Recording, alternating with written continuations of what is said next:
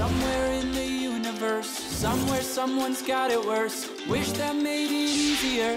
Wish I didn't feel the hurt. The world's smallest violin really needs an audience. So if I do not find somebody soon, I'll blow up into smithereens and spew my tiny symphony all up and down a city street while trying to put my mind at ease. So this could be the death of me, or maybe just a better me.